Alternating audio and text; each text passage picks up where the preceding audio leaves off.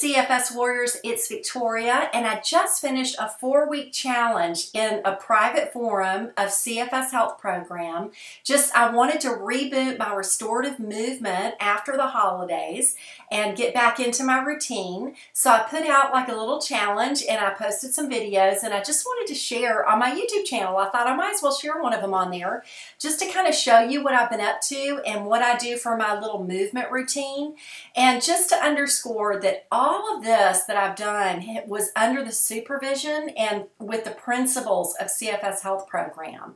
So I want to just be really clear about that because exercising with CFS can really crash you and they have a masterful, you know, restorative movement program and that's where I started. So anyway, but I thought it would be fun to share. So in case you're doing a movement routine, you might enjoy seeing what I do.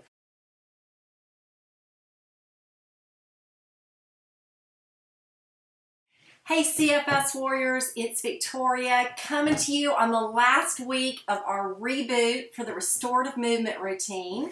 And I hope it's gone really well for you guys. And thanks for doing this with me. You know, I've had a really good time and it's gotten me back into my routine and um, just gently and just getting back to it three to four times a week now. So I really appreciate it.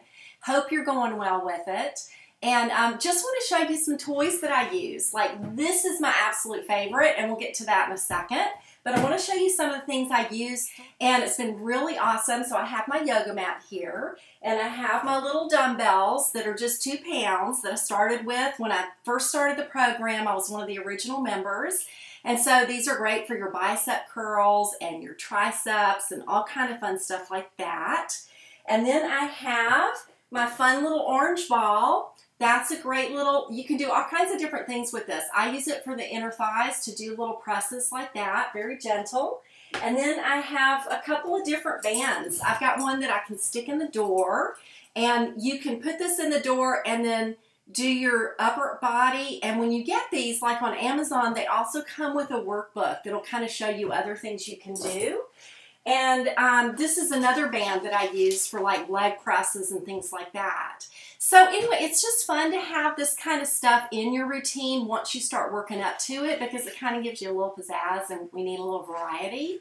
So, um, and this one is my absolute favorite, and at the risk of looking really silly, I'm going to show you some of the things that I do on it. So, um, this is just an awesome thing to have for just chilling out.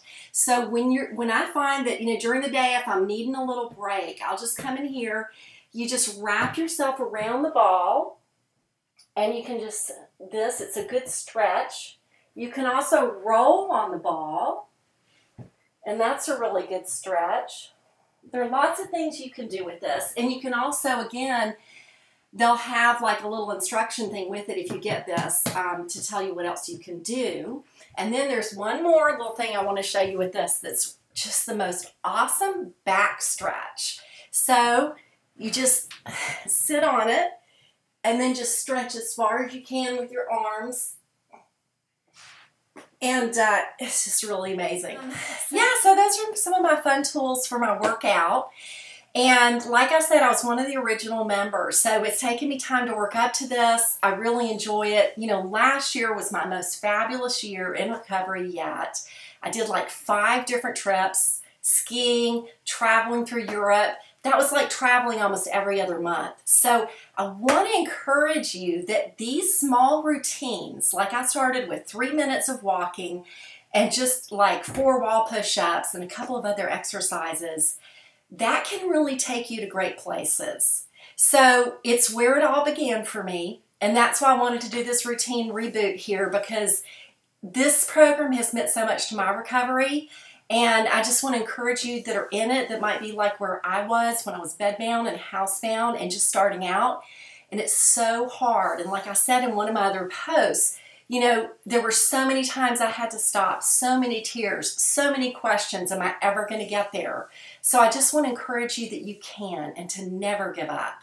And, um, you know, I also want to talk a little bit about, you know, having a routine. I'm a mom, I've got two kids, um, they're teenagers now, but you know, um, it's hard to make time for it. And I have found, though, that as I made this my space, my little routine became almost like a meditation for me. So I've got my phone and I like to put on like just some healing music or something really gentle.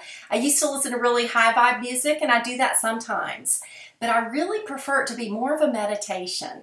So I'll come in and I'll do my stretches and I'll do my exercises and it's just a really good centering time. And I just want to encourage you to make your routine something that you really enjoy and that you really get that calmness out of and that's something that you look forward to. So no matter where you start, you know, if it's just breathing exercises to start or whatever it is, just work something into your routine that's a daily investment in your recovery. So anyway, guys, I think that's it. But I just want to thank you again for joining me in the reboot. Um, it's gotten me moving. You know, I've gotten, you know, I had such a huge December with travel and then coming back for Christmas. Uh, everything just went out the window. So it was really nice to get back to it. And it was great to hear everybody's comments. Um, so, anyway, have a great last week of the reboot. And I hope it goes well. I hope you'll comment. Let me know how you're going on it. And uh, we'll chat with you soon. Bye.